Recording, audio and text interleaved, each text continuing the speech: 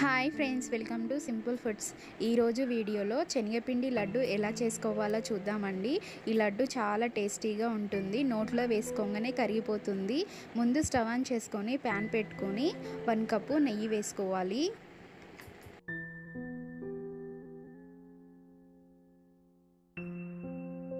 నెయ్యి కరిగాక ఒక కప్పు శనగపిండి వేసుకొని ఈ నెయ్యిలో ఫ్రై చేసుకోవాలండి.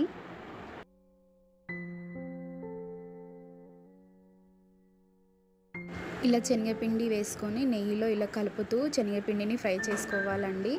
ఈ నెయ్యి అంతా ఈ శనగపిండికి పట్టి మళ్ళీ బయటికి నెయ్యి వచ్చే వరకు ఈ విధంగానే ఫ్రై చేసుకుంటూ ఉండాలి. స్టవ్ సిమ్లో పెట్టుకొని ఫ్రై చేసుకోవాలండి. లేకపోతే శనగపిండి మాడిపోతుంది.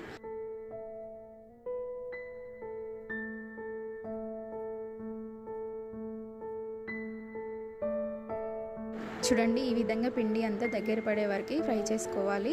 చూడండి పిండి కలర్ చేంజ్ అయిపోయింది కదా. ఇప్పుడు చక్కగా శనగపిండి ఫ్రై అయిపోయిందండి. ఒక బౌల్లోకి తీసుకొని వన్ కప్పు షుగర్ పౌడర్ వేసుకొని కొంచెం ఇలాచీ పౌడర్ వేసుకొని కలుపుకోవాలండి.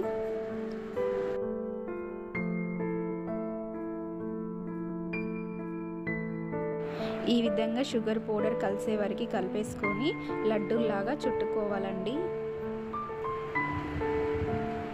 ఈ విధంగా చుట్టుకొని ఒక ప్లేట్లో పెట్టుకుందాము. ఈ లడ్డు ఆరిపోయాక సెట్ అయిపోయి చాలా టేస్టీగా ఉంటుందండి ఈ లడ్డు. నోట్లో వేసుకోగానే కరిగిపోతుంది చాలా టేస్టీగా ఉంటుంది. తప్పకుండా ఇలా ఒకసారి ట్రై చేయండి. మీకు ఈ వీడియో నచ్చితే లైక్ చేయండి షేర్ చేయండి సబ్స్క్రైబ్ చేసుకోండి. Thank you for watching.